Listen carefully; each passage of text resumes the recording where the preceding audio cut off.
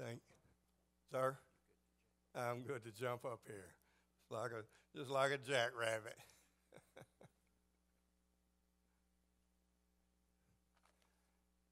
well, some of you moved, or did you move back? uh, revival services, I failed to make this announcement, are going to be at uh, uh, Shiloh Stamps. Uh, where's the name of that church? Shiloh, Shiloh Union and Stamps. Uh, June uh, the 3rd and 4th. So Monday and Tuesday nights.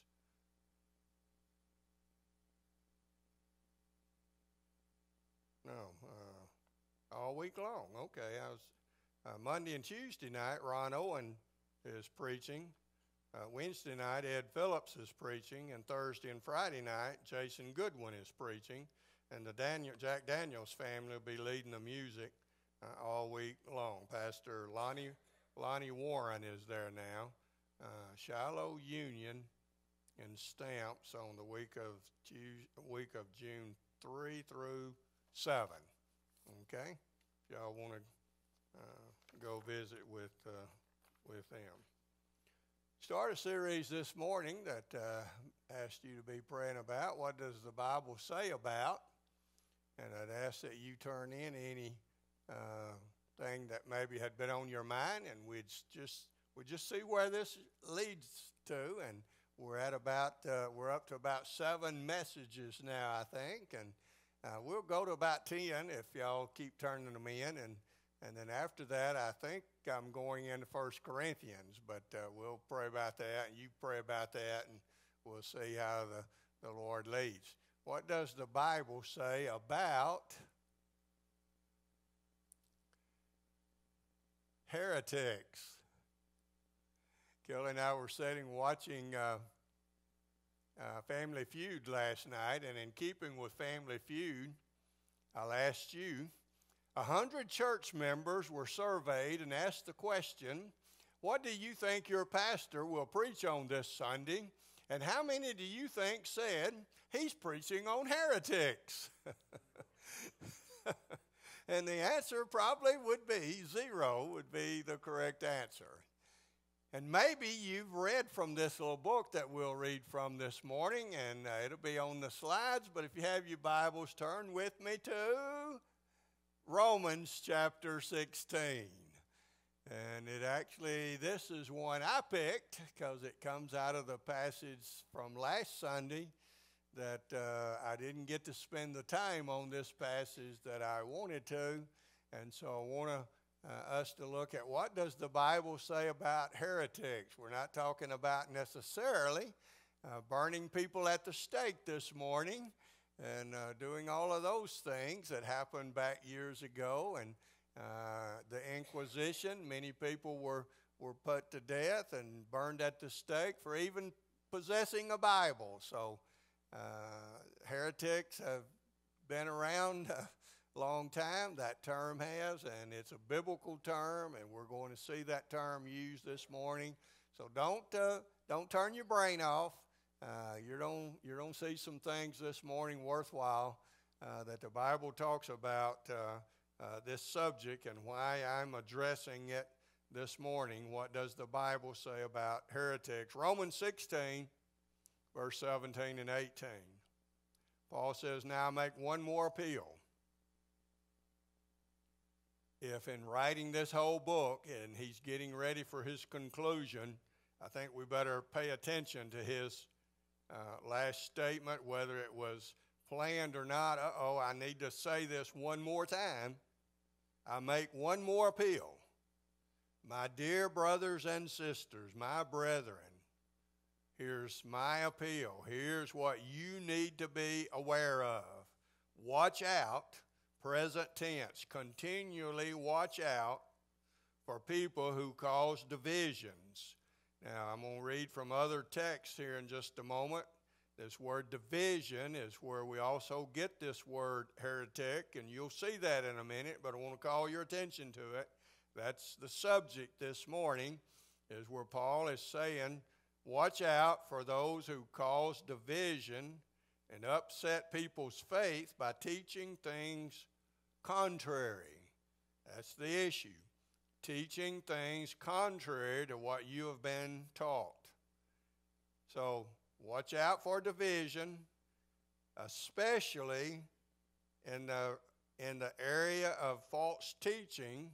Be aware that people are teaching something contrary to what you've been taught and here's our imperative verb. I, of course, mentioned this last week in passing, but our imperative verb is, and stay away from them. Get away from them. Don't stay around people who are teaching false doctrine, who are using the Word of God contrary to the beliefs that I've been teaching you. Such people are not serving Christ our Lord, they are serving their own personal interest. This is an extremely intuitive statement. Of course, we would expect that of the Holy Spirit of God. But divisions are caused by people who want their own way, right? Any division would be somebody has a, a right, uh, uh, somebody has a standard, somebody has uh, the way we've always done it. If if you will, but it's the standard. And somebody else says, no, I think we ought to do this or that or something different. And Paul is saying when it comes to the Word of God, I want you to watch, watch out for those people. And they're teaching things contrary to what you've been taught because they're not trying to serve Christ our Lord they're trying to serve themselves. They have their own personal agenda, their own interest at heart, and you just stay away from them. Look at 2 John now, verse 10. 2 John 10 and 11.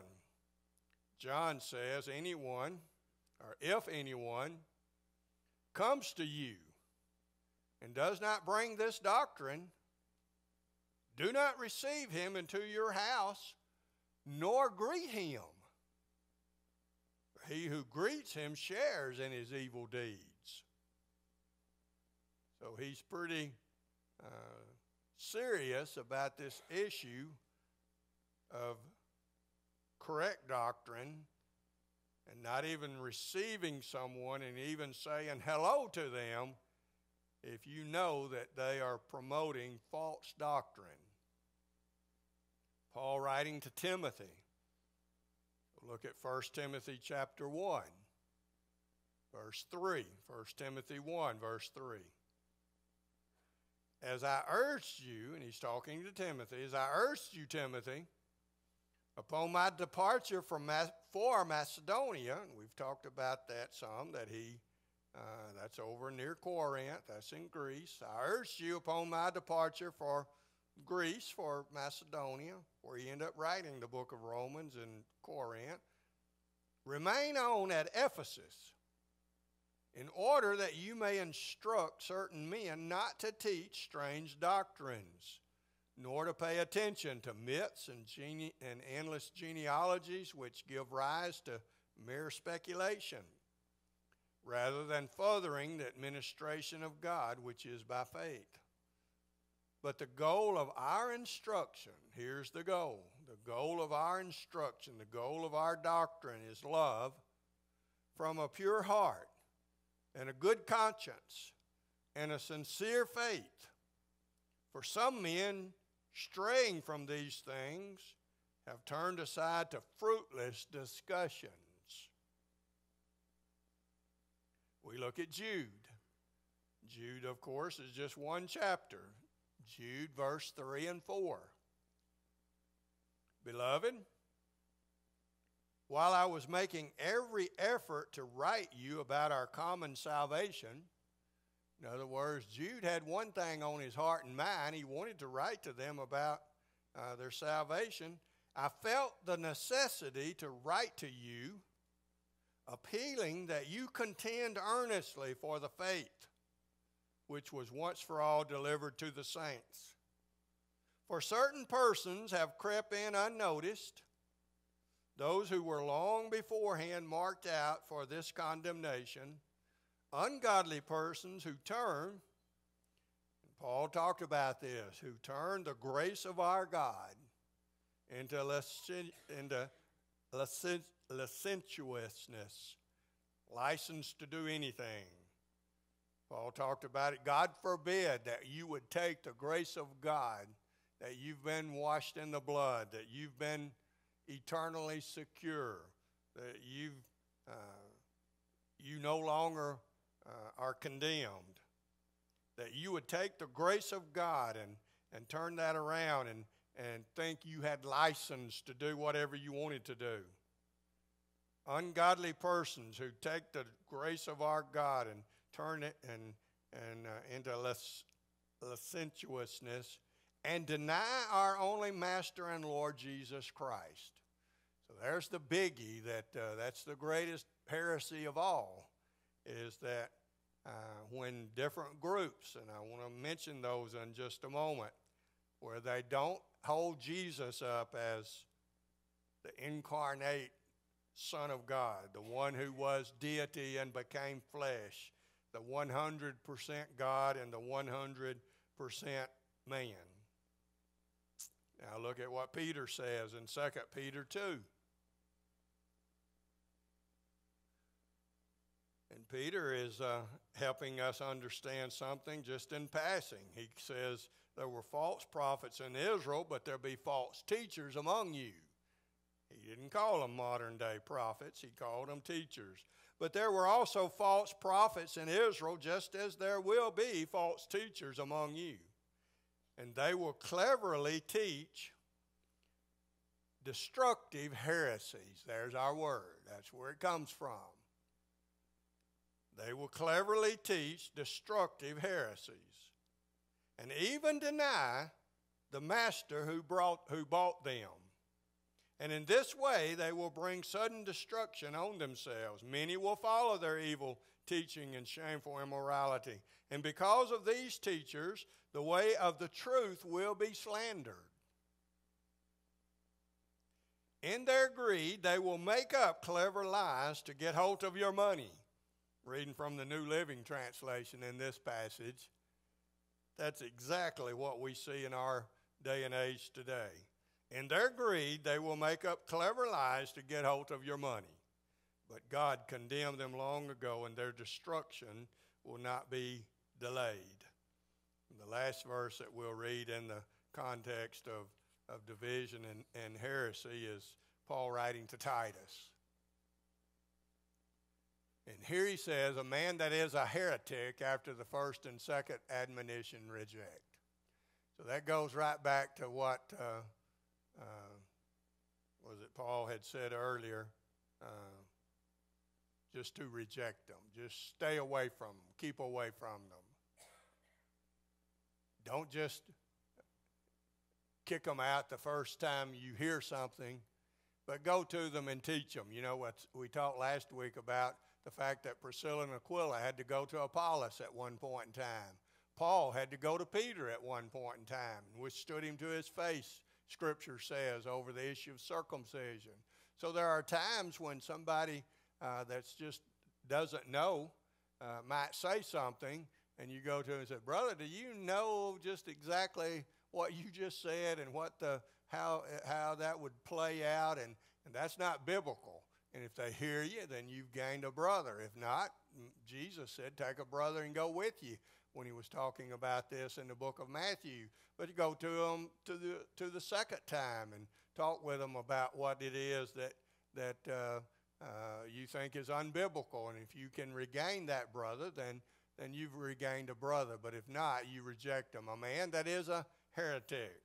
And then uh, got four verses just uh, that we'll look at together so that you can see how the different versions treated this same verse. So here's that same verse, Titus 3:10. We just read it from the King James version because King James is the only one who translated it heretic. The others, well, as you see, the top verse there is from King James, KJV, and it, a man that is a, a heretic, where we get the word. And then the New American Standard is reject a factious man, a man that causes division. And New King James, that I normally read from, says reject a divisive man. And then the New Living Translation says, and that's more, uh, of course, a modern translation, and I think easily defines what the word means, and, and, and this is a good explanation of that verse. If anyone is causing divisions among you, give a first and a second warning, and after that, have nothing more to do with that person. Next slide, Kelly. The word actually means just what you saw in those four different translations. Those four different translations uh, correctly give us the, the definition, and I've told you before that to read from different translations is like having a commentary because any translation had many people, many editors, and they often struggled over how to translate a word.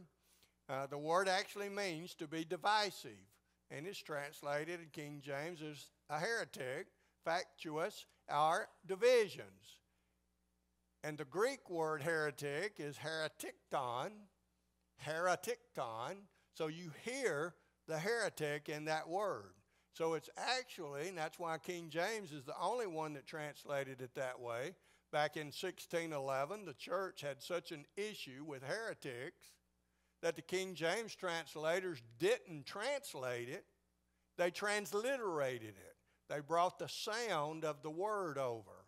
And that's what you see there. Heretikton was simply called a heretic, but a heretic is one who causes divisions, who teaches something contrary to what Scripture says. But the very root of heretikton, the very root of what's at stake here is what Paul talked about in his verse in chapter 16 when I said it's such an intuitive statement about what the, what the whole subject is about. Divisiveness comes about when you choose for yourself. So, whatever the standard is, the standard could be any, anything dealing with any subject. It, it doesn't have to just be biblical and spiritual. But whatever it is, the standard and the standard of truth for whatever it is you're talking about, and someone else comes in and says, No, that's not my truth. No, I don't agree with that. No, we're going to do something else. That person then becomes a heretic to whatever that truth is. So that's all the word, that's the basic meaning of the word. But then when Paul uses it and brings it into to biblical use, then the heretic is, of course, about contrary doctrine than what he's taught. All through the Middle Ages, when the uh, Catholic Church was involved with the in, uh, Inquisitions and people were being put to death, people that just owned a Bible were put to death. People that just disagreed with anything the church uh, promoted as being truth were branded heretic and put to death, when in reality, the church itself had become heretical, had become uh, the heretic itself because the church had departed from what uh, the basic understanding of Scripture was all about.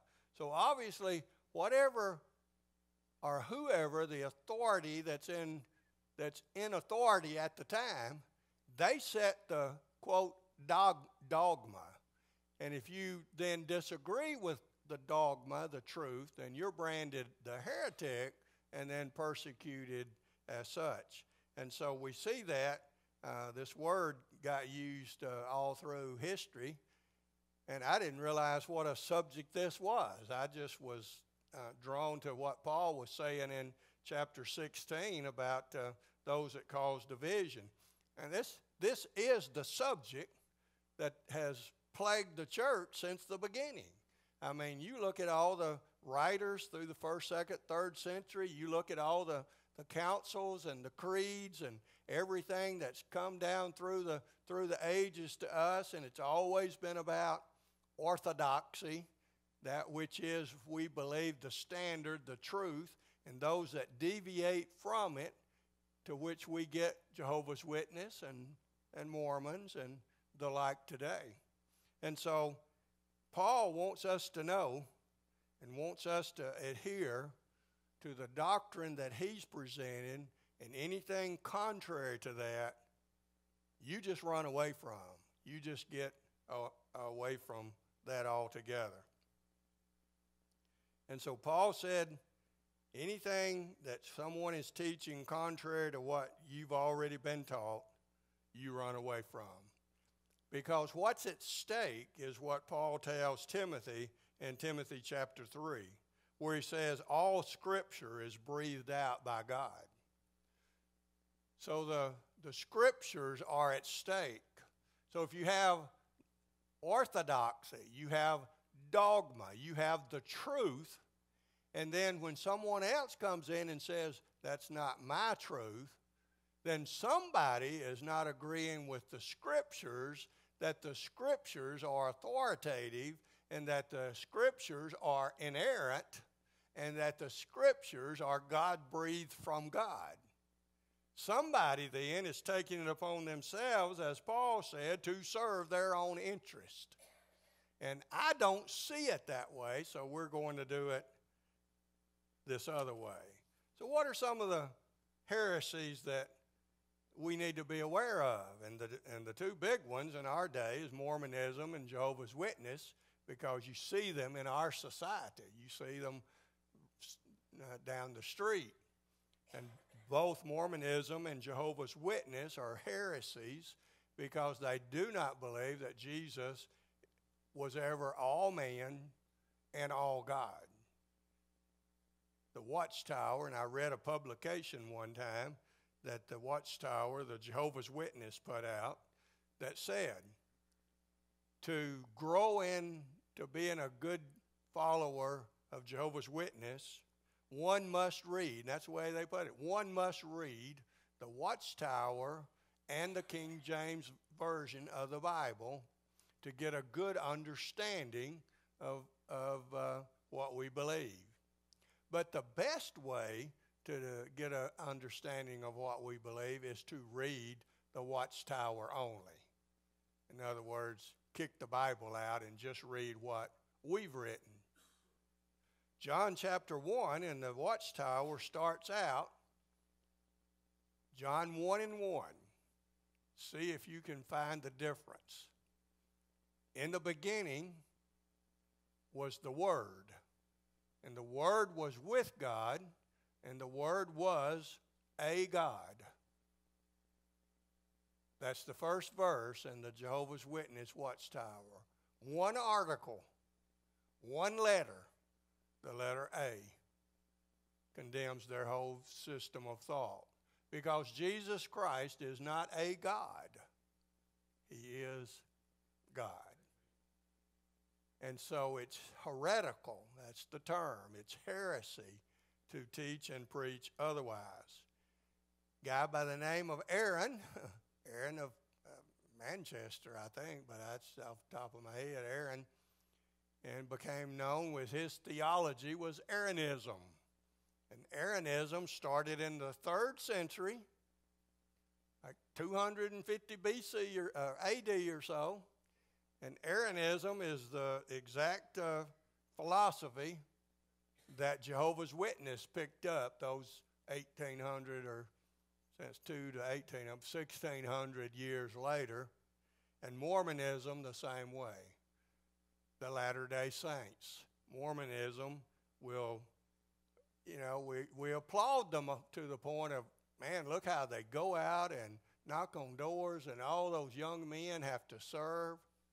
But look what they're serving, look what they're saying. And God, Jesus Christ, is not God. In fact, he, he is a God, but we can all become a God. And of course, uh, Hinduism, and we get off on other world religions, and well, they make no bones about being Christian, so they're just, uh, um, you know, they're just paganism. We'd call that not not heresy. Heresy would be something. Here's the standard, and we're we're saying no to that standard. Apostasy, of which the Old Testament talks so so much about, was here's the standard. Not only are we changing from the standard, we're walking away from the standard. To become an apostate means you have left the, uh, the whole teaching that is the standard.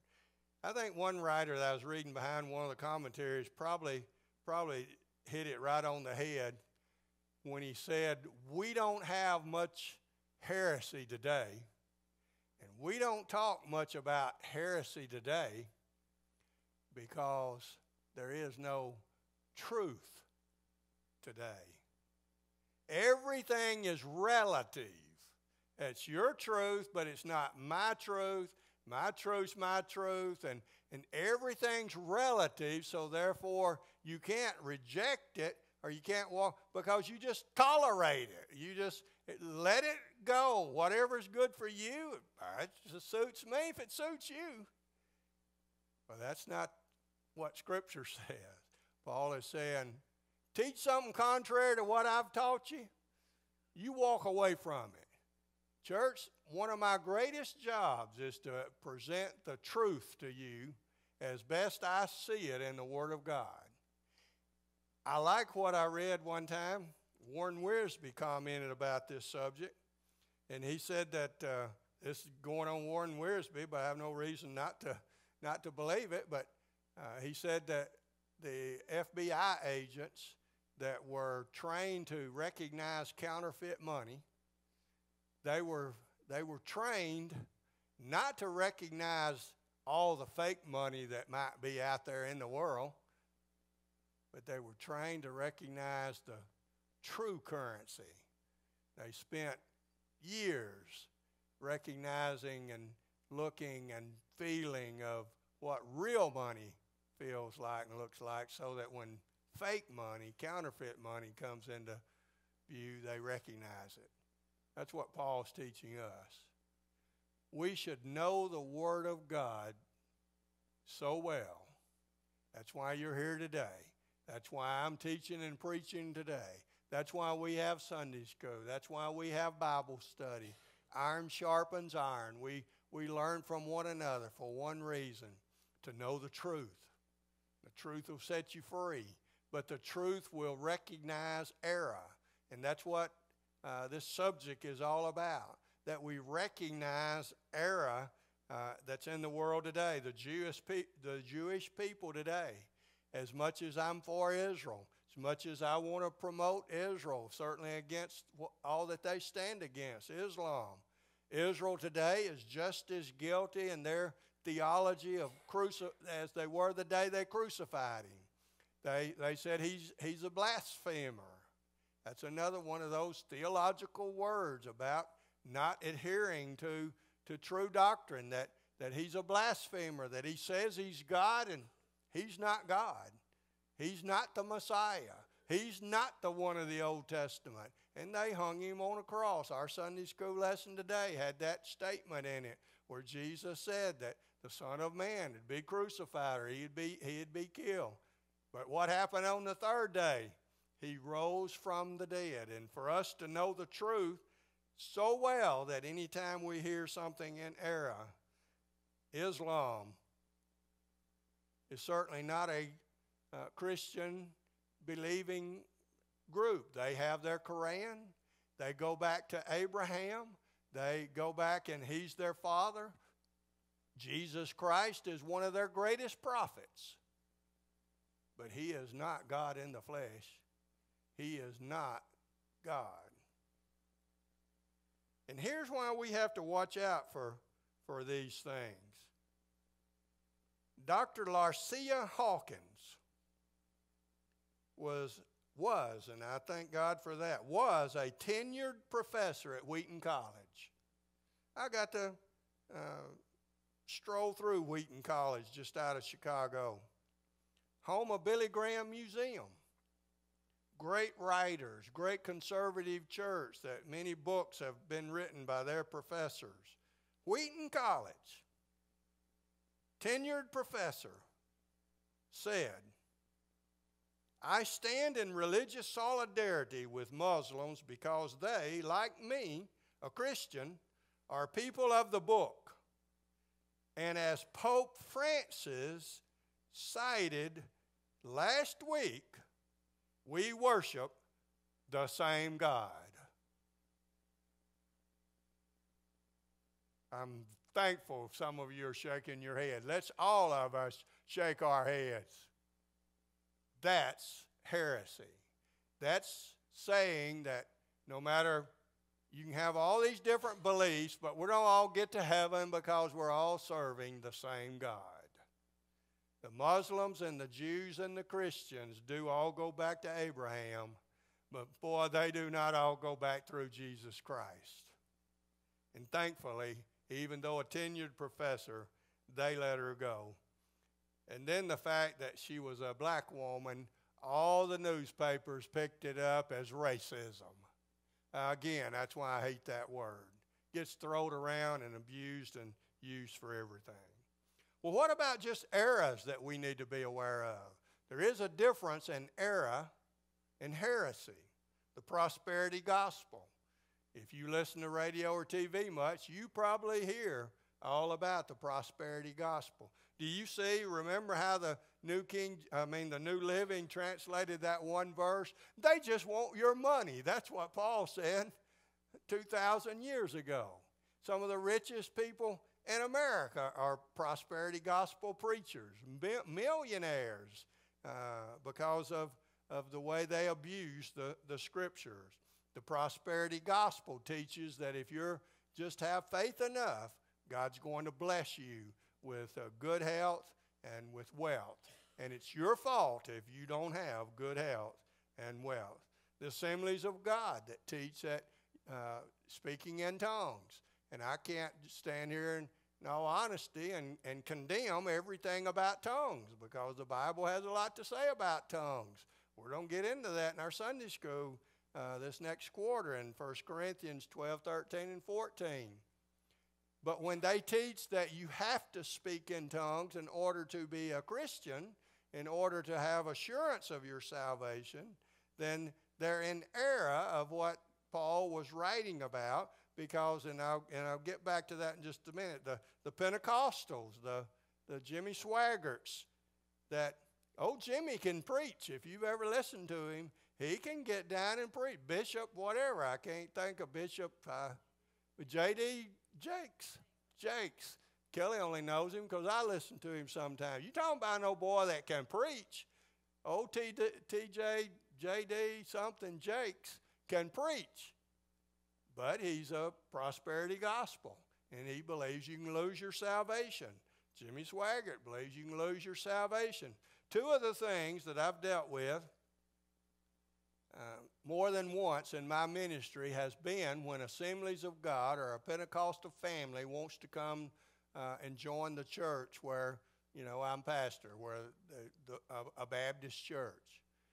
And the issue is we just can't come here if indeed you teach once saved, always saved, because our kids, this is what I've gotten, because our kids would go out and do whatever they wanted to do if they knew that they could never lose their salvation. We believe the Bible teaches you can lose it, and so that's a, that's a reason for you better walk the straight and narrow or you don't go to hell. Well, that's an error of what Scripture is teaching. Not heresy, I don't think, but error. Well, certainly the homosexual issue with the Methodist Church of late uh, is very anti biblical, but it's not heresy, it's an error. Because heresy is going to take the main doctrines of Scripture, either the Trinity, or the deity of Christ, or the virgin birth of Christ or the actual bodily resurrection of Christ, or the inerrancy of Scriptures. One of those five things, the five tenets of our faith that we say you can't get wrong. You can get all these other things wrong and go to heaven. Paul said that if we if we call on the uh, 1010 Call on the name of the Lord Jesus Christ and believe in your heart that He raised Him from the dead. What did it say? You might be saved. You will be saved. And so we can be wrong on We can even be wrong on baptism. We can be wrong on the Lord's Supper. We can be wrong on everything. But these, these five tenets the Trinity and the deity and the virgin birth and the, and the resurrection and the uh, inerrancy of Scripture. Because if we're wrong on the inerrancy of Scripture, then we might be wrong on, on them other four main ones. That's really, so it's not it's not bibliology. It's not worshiping the Bible. It's just knowing the Bible is the true Word of God that's given us the uh, the truth. And so, how do we guard against heresy? That's how I'll close this morning. And there's three things that, to me, jump out at me about this whole subject. And the reason that I wanted to take a, a, a morning and talk about what Paul was saying, church, watch out. That's what he said, present tense, continually till he comes back again. You're going to have, as Peter said, you, you're going to have false teachers. There's going to be false doctrine out there that'll lead you astray. I want you to know the truth of the Word of God. I want you to know who Christ is. And let me finish with what Paul said both to the Colossian church and then to the Philippian church. And Kelly's, I think, going to teach on beholding Jesus to the WMA ladies. This is what Paul said about beholding Jesus in the book of Colossians. He is the image of the invisible God. You've heard me say that before. He is the image of the invisible God. I think it was last week when I read the verse that said, No man has seen God at any time. It's what John said John 1.18. But the Son has revealed him to us. Nobody's seen him because he's invisible, Paul says. He, Jesus, is the image of the invisible God, the firstborn of all creation. And I wrote a, a, a paper on this word pro, prototokos, firstborn, in seminary years ago. It doesn't mean like being born when you were non existent. We were all non existent before our birth. It's not being created or birth, it, it's a word meaning rank. It was first in order. It's a ranking term. He was before there was ever a creation. And for by him all things were created.